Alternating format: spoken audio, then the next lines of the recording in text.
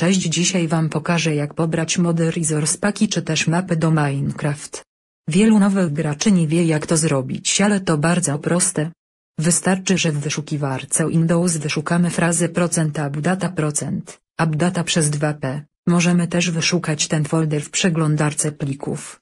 Następnie wchodzimy w folder .minecraft i wybieramy folder mods Resource Packs Maps lub Shaders zależnie od tego co pobieramy.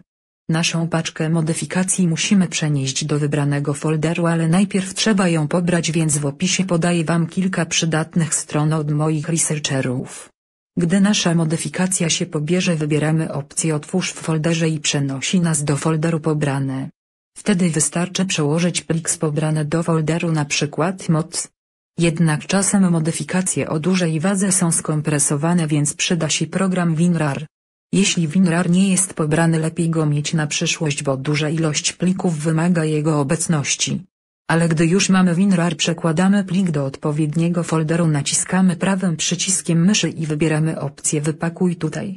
Jeśli film Wam się spodobał pamiętajcie by go ocenić lub zasubskrybować bo content jest różnorodny.